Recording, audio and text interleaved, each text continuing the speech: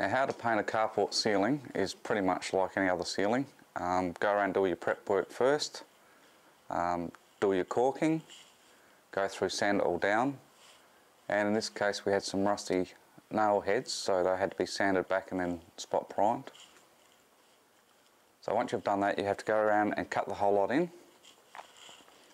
Once you finish your cutting in, go back and roll it. Now rolling it is pretty much like rolling any other ceiling.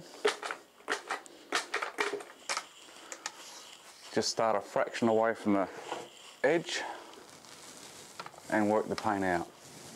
Now there's some battens on this ceiling so use the battens as markers as stop start points. And try not to force the paint out too far. You want it to cover. There's clothesline on the way here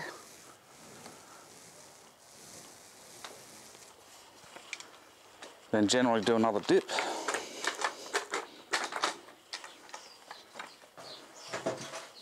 Once again, just start away from where you finished.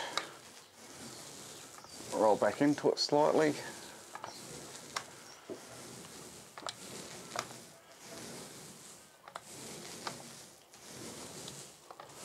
And once you've done that, go back and lay those bits off.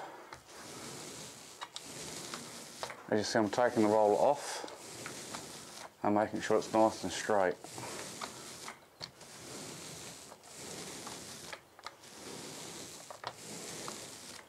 And this way you'll get a nice even finish.